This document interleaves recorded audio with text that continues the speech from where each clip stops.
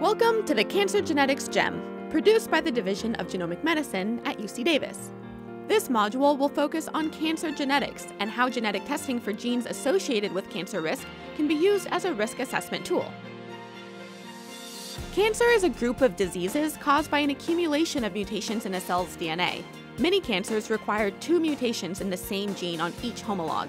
This means that if a person starts out with an inherited germline mutation in a gene associated with cancer, the probability of accumulating a second mutation is much higher.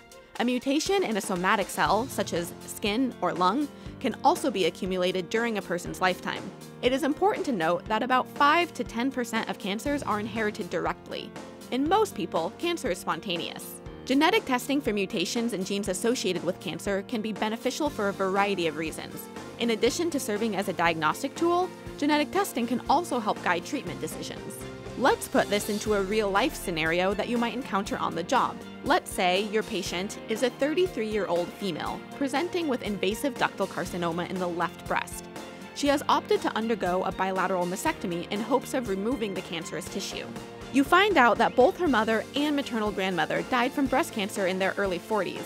Due to the familial pattern, you order a breast and ovarian cancer panel test to look for any genetic variation. The panel comes back positive for a BRCA2 mutation. How does this information affect your decisions surrounding recommendations for your patient? You may press pause until you are ready to proceed.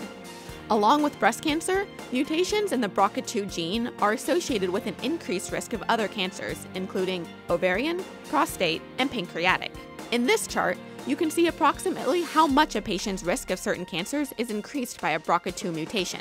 Knowing that your patient has a mutation in BRCA2 allows you to recommend increased surveillance for other cancers associated with BRCA2. For example, you might recommend that she gets a transvaginal ultrasound and the CA125 blood test in order to screen for ovarian cancer. This case study provided one example of why testing for genes associated with cancer risk can be beneficial, but there are many additional benefits of genetic testing for genes associated with cancer. For example, genetic testing can help diagnose a patient, provide information about cancer risk for themselves and their family members, and can help inform reproductive decisions. In general, it is recommended that genetic testing for cancer risk should be strongly considered when all three of the following criteria are met. The patient has a personal or family history that suggests an inherited cancer risk. The test results are reliable, and the results provide information that will help guide a patient's medical care.